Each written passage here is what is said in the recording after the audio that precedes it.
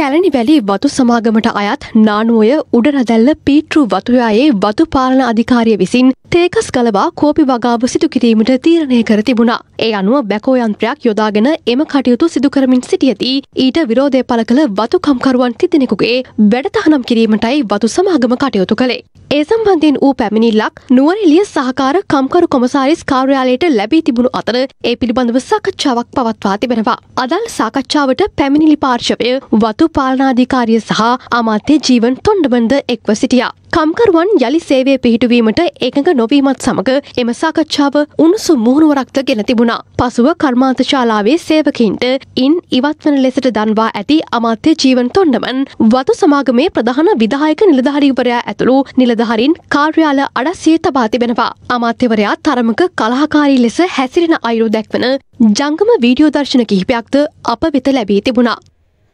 That is wrong. I will go. want to know what estates will burn. Right. ಬೇವಾದ್ರು ಶಾಂತಿ ಕಟ್ಟಿರೋದು ಈಗ ಪ್ಯಾರ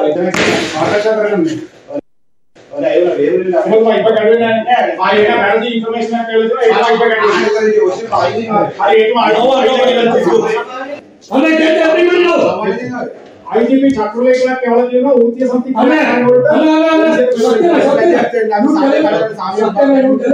ಶಿವಸ್ವಾಮಿ ಕಡಾಮ He can't start for it. No, people, what is it? देखो उनके समझे क्रिया कार्य।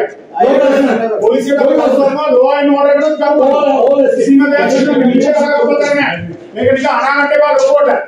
Use it photos okay how does අමාත්‍ය තොන්ඩමන් හා ඔහුගේ ආධාරකරුවන් ඇතුළු පිරිස නුවරෙලිය හැටන් ප්‍රධාන මාර්ගය නානුවේ නගරෙන්ද නුවරෙලිය බොරලන්ද මාර්ගයේද අවහිර කරමින් විරෝධතාවයක නිරත වුණා. මේ හේතුවෙන් එම මාර්ගවල දැඩි රථවාහන තදපදයක්ද ඇති වූ අතර වාහන ගමනාගමනයේද පැය කිහිපයක් ඇන හිට තිබුණා.